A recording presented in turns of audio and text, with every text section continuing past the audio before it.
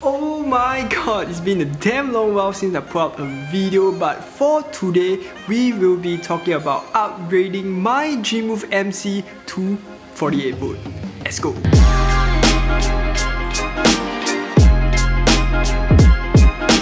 Okay, so JiMove MC has been a really popular e-bike. In fact, even in 2024, there's still a lot of people are still using this e-bike. But the thing is, this is a pretty obsolete e-bike, a 2020 release, 4 year old model, and the fact that this is a 36 volt e-bike.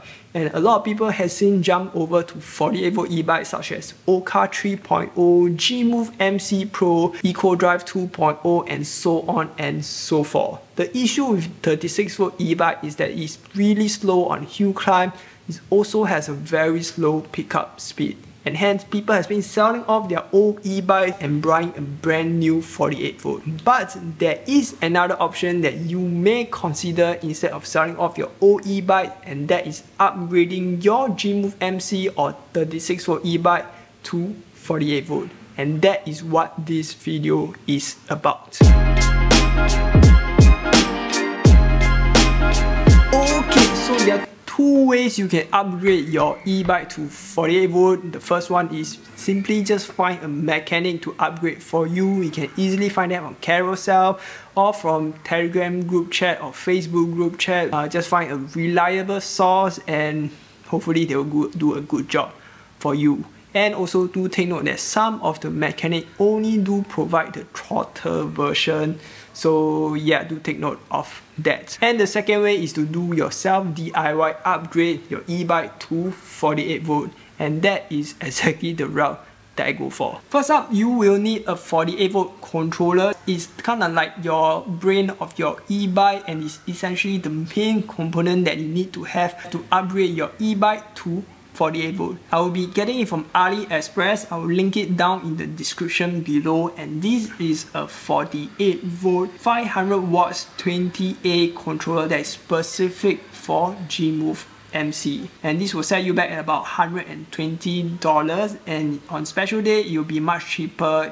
Probably like $103 that is the price that I purchased but if you're using a JiMove MC V2 you will need to get an extra LCD screen that will set you back at about $180 but there will also be another alternative cheaper option which I will link it down in the description below. It will probably be uh, at around 40 to 50 dollars. But do take note that you have to choose the SM plug and pairing it with a LCD screen. And the LCD screen will look much different from the JiMove MC so it will not be as stock. That is why I choose to go with the $100 controller.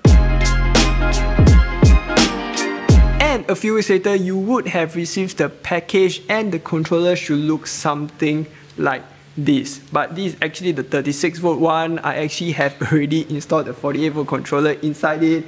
But I'll try my best to explain in details of how I installed the 48 volt controller. So first up, you will need to remove the battery first because on my first experience, I actually encountered sparks while trying to install my 48 volt controller and thankfully it did not short circuit anything on my e-bike and so do make sure to remove the battery first and then followed by trying to locate your controller box is usually at your rear rack and there will be a controller box right over here and you need to find some screws to remove them and then you remove the cover and the controller should look something like this with a lot of wires. And all the wires are actually color coded because this is the we are upgrading the old e-bike they're still using the SP plug if you're using the newer e-bike it will be a more waterproof WP plug you are all covered in black so for this you can easily identify which one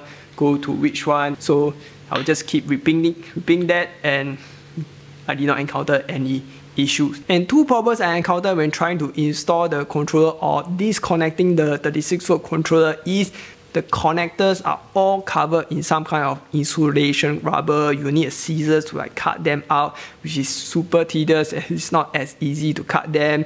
And you also have to be careful not to cut the wires by mistake. Another thing is that some of the connectors are really really hard to disconnect. I actually have to use two pliers to try to forcibly remove them and yeah other than that everything else is pretty simple it's not really hard to install the controller. And once you install it, you will have to try to fit into this controller box and it actually slightly longer than this 36 volt controller. You have to try to force it in a little bit and push out some of the wires to make space for the slightly bigger controller. So some of the wires will be more tucked out a bit but yeah you will fit in just fine and as I say again I actually got the 20A 500 watts controller because this can barely fit it in. If you get any bigger, you probably have to get another controller box to try to fit in a bigger one. So 500 watts is actually the biggest you can go for this controller. And once done, you will just need to cover it up, screw in the necessary screw and make sure the LCD screen is still working. And with that, you now have a partially ready 48 volt e-bike. You can just use it as it is. You have to improve hill climb but you won't get the full potential of the 48 volt power. You will still need to change the 48 volt battery which I actually got it from Carousell. You can buy it first hand or second hand but this is all third party. So you still have to be careful of any potential electrical fire or whatsoever because they're after all a third party battery. And I also do not know the legality of this because all these 48 volt battery are also slightly more heavier which will make your e-bike slightly more heavier than the 20 kg 20 kg LTA limit. So this is kind of like a gray area whether you want to upgrade it is up to you but you won't get the full potential of a 48 volt e-bike. And if you installed a 48 volt battery, you will need to change some settings of your LCD screen. If you're using a JiMove V1, you need to obtain a password. You can source it from Facebook or Telegram JiMove group chat for the password.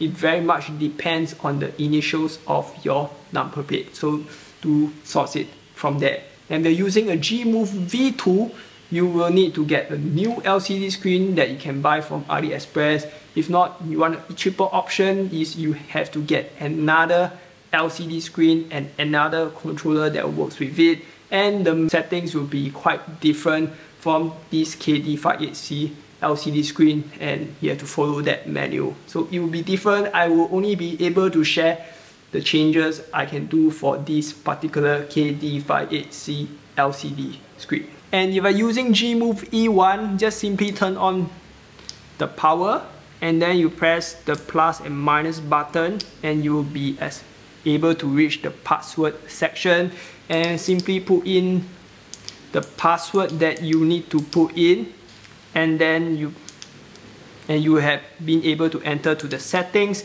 go to the voltage set voltage go in and I already preset it. It's previously a 31, 32 and 34 and 36 and 38 volt. And we will be changing that to 41, 42, 44, 46 and 48 volt. And now you have successfully changed this whole e-bike to 48 volt e-bike. And there is some bonus setting you can do with this LCD screen. You can change your mode of speed to 3 speed, 7 speed or even a 9 speed e-bike. You can also specifically set each mode of your speed to whichever speed you want. For example, mode 3, you want to have a 19 kilometers per hour, you can set it to that. And you also have a choice to have a gear 0 whereby you will be in neutral state as I'm really lazy to turn keep turning on and off my LCD screen when I'm delivering or collecting food and when I come, come back again I can just turn it to gear 1 or gear 2 and move off straight away. So that's the bonus setting that I can do for with this LCD screen.